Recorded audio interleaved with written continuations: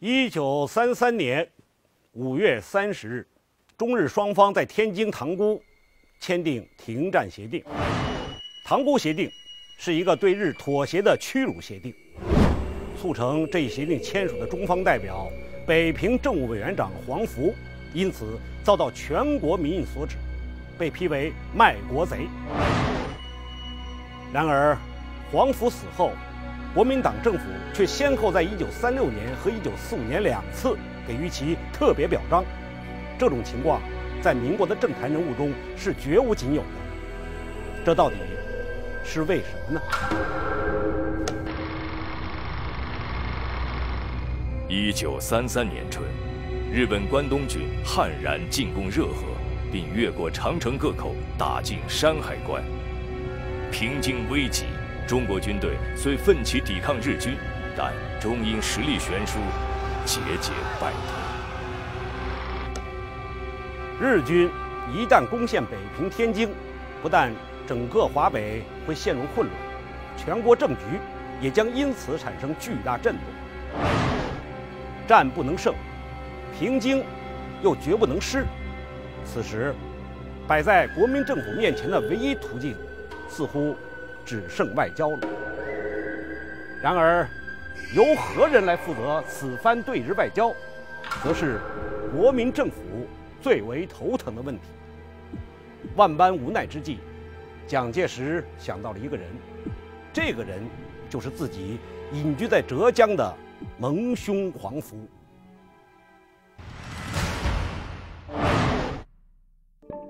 黄福，浙江嘉兴人。武昌起义后，黄福与蒋介石参与了陈其美主持的光复上海活动，三人成了结义兄弟。誓言：安危他日终须仗，甘苦来时要共尝。蒋介石之所以在此时想到请黄福出山，既因为黄福与自己乃是金兰结义之交，也因为黄福乃是当时政坛上少有的知日派，与日本驻华公使及武官多有私人交易，所以由黄福主持对日谈判，或许还有一线之机。综合看来，黄福无疑是目前北上与日军谈判的最佳人选。但是，他在接到蒙帝蒋介石的邀请之后，并未马上做出决定。眼看平津形势一天比一天危急，黄福却一直犹豫不决。他到底在顾虑什么呢？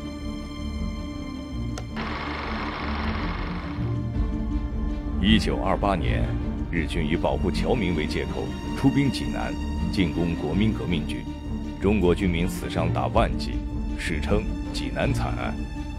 当时为完成北伐，国军不得不与日军妥协，但身为军事统帅的蒋介石不愿承担亲日合议的骂名，一切谈判都由黄福出面。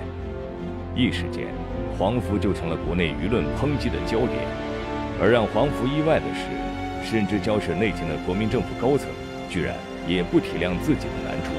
自己在前方与日军艰难谈判，高层政要们则在后方大唱高调，以博取舆论的称赞。连蒋介石也迫于舆论压力，劝黄福辞去外交部长之职，以谢国人。后来，黄福曾在私人书信中表达了他的心结：起案所受刺激，公私两项皆为生平未有之伤心事。兄在政治上。便有二十年之经验，绝非量窄之人。唯此一段内外交迫之伤心事，是令我莫齿不能忘。正因为存着这样的心结，黄福在过去长达五年的时间里，一再婉拒蒋介石的邀约，不愿涉足政坛。而此次北上谈判，明显又是一份吃力而不讨好的工作。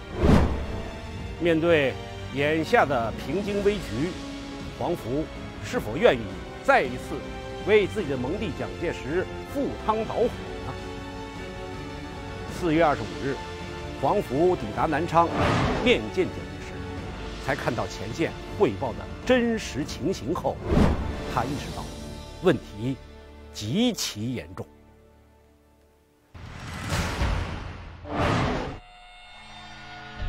正如他后来在电报中所说的那样，平津一时，中央政局亦必动摇，财政无办法，两相接济之援绝。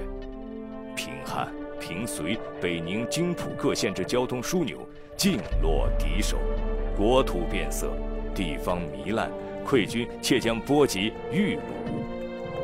也许是看到眼下情形，除了对日谈判，再无其他解决之办法。黄福最终决定出山北上。面对劝阻自己的家人和好友，黄福的解释是：“我不入地狱，谁入地狱呢？”五月三日，蒋介石设立行政院驻北平政务整理委员会，任命黄福为委员长，负责对日交涉停战问题。自九一八事变以来。国民政府最感到棘手的问题之一，就是与日本进行直接的谈判与交涉，因为当时日本的政局在少壮派军人的主控之下，气焰之狂妄，根本是无利可谈。所谓的中日谈判交涉，只不过是让中国在会议桌上屈膝受辱而已。就在黄福上任的当天，日军。为了争取到更为有利的城下之盟，开始加紧对北平方向的进攻。五月六日，原本在长城关外的日军，越过长城的关口，猛攻在滦东的华军。华军根本没有料到日军会退而复返，更没有想到在谈判即将开始时，日军会加强攻击。加上华军已经力竭而不堪再战。因此，滦东阵地连续失守，日军席卷滦东各个军事重镇。对此情形，黄福在日记中写道：“前线支持已不能以日计，而以时计。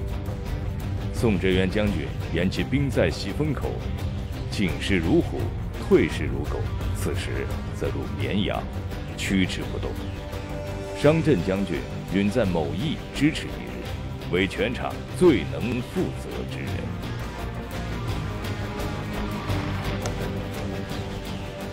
让黄福头疼的事情还不止于此。由于华北军方高层碍于舆论压力，不敢命前线部队坚决执行后撤停战的指示；南京政府高层也碍于舆论，不敢负责任地给出中方对日和谈的底线，甚至不敢对媒体承认和谈的存在，所以谈判进展极难。随着日军的步步逼宫。留给黄福的时间越来越少。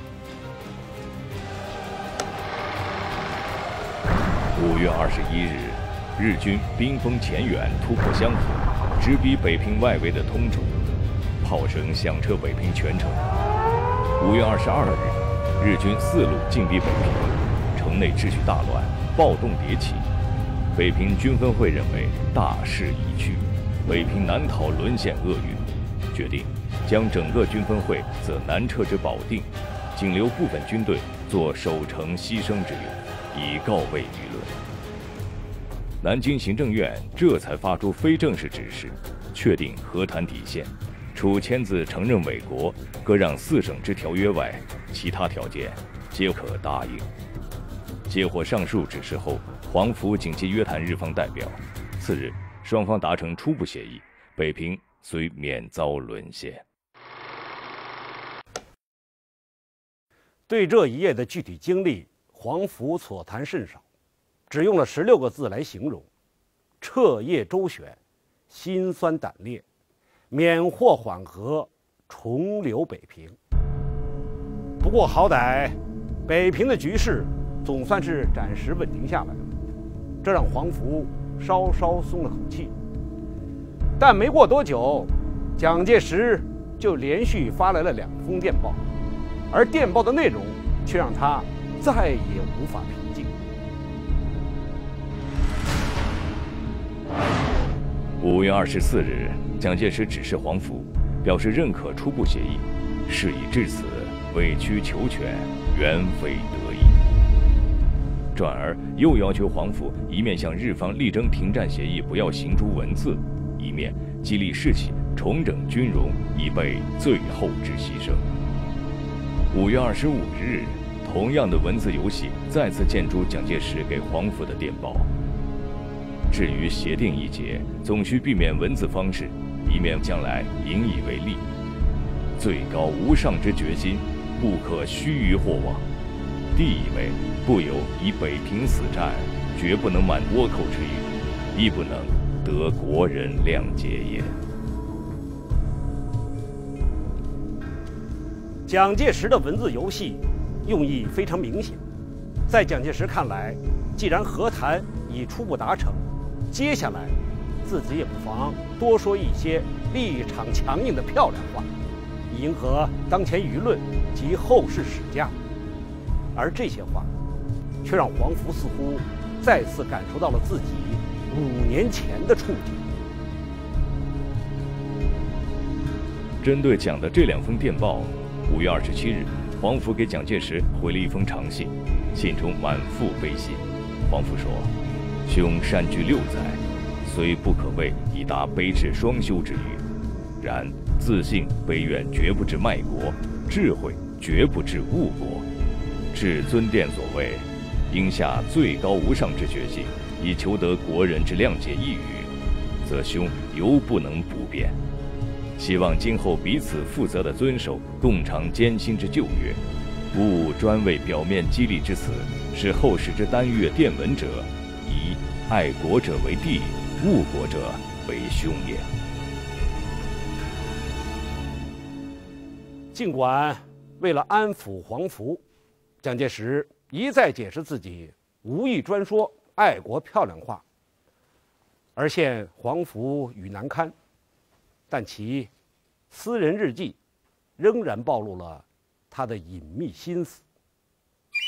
塘沽协定签订次日，蒋介石在日记中留下了这样的文字：“昨日停战协定在塘沽签字，事实并未有过，而文字实令人难堪。”代表之无能与前方之确馁，不胜残惶。作为当事人，蒋介石很清楚谈判的艰辛，但同时他也很清楚，自己的日记必将被后世史家所批阅，所以他给了黄福“无能”二字作为评价，刻意拉开了自己与黄福的距离。此次危机过后，黄福继续留在华北。负责与日军交涉，直至一九三五年春，才因病再次退隐莫干山。这段时间里，国内舆论对黄福卖国的指责堆积如山。退隐前夕，黄福接受《大公报》记者采访，曾对公众如此吐露自己的内心苦楚。这一年的经过，在明了国家情况的人当然能够谅解。一般人则以为我黄某天生贱骨头，甘心做卖国贼，对外未曾做了什么事，对内则需时时做解释功夫，真是痛苦万分。一年以来，对内对外尽做矮人，我并非不知道伸腰，只是伸伸腰之后有什么善后办法？为国家设想，不能那样冒险。但国家既需要我唱这出戏，只得牺牲个人以为之。我年已五十五，大小的官都曾做过，尚复何求？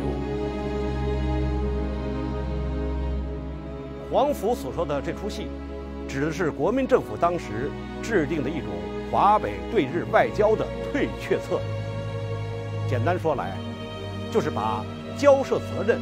下放给华北地方机构，中央隐藏在幕后指导。这样做的好处是留下缓冲空间，争取备战时间。舆论的骂名，中央也可以有所推卸。一九三六年十二月六日，黄福病逝，时年五十七岁。国民政府。在其褒词中写道：“不避险阻，历任艰难，隐忍求全，用书获变，心孤事苦，由人所难。”这二十四个字，这大约也算是蒋介石对这位终身不愿加入国民党的盟兄的一生最贴切的评价吧。